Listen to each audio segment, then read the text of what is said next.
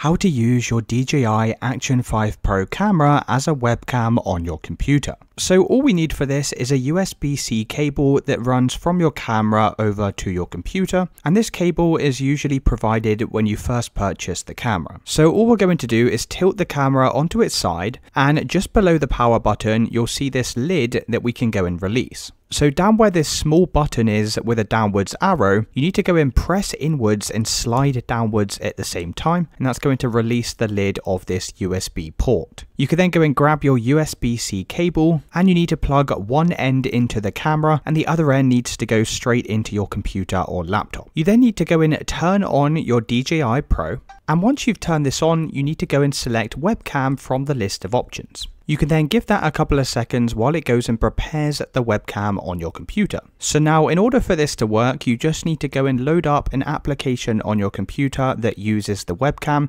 This could be Skype or Microsoft Teams. You can even just go and open up the camera app and you may get some notifications asking you to allow access, just go and press yes. Now once you've done this, as you can see it's now using the DJI camera as the webcam. You can go and take videos and basically do everything you would as a normal webcam. And it's really as simple as that guys. Let me know in the comments if you found this video helpful.